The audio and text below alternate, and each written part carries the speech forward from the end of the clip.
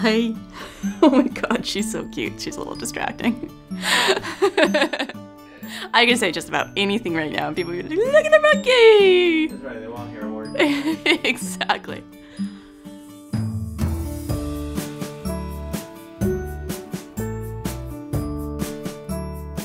Helping Hands began in 1979 as an experiment to see if we could train a capuchin monkey to help somebody living with a spinal cord injury. Capuchin monkeys are known as the most intelligent New World monkeys. They're also a great size, typically about 6 to 8 pounds as adults, although Dylan's a little bit smaller than that.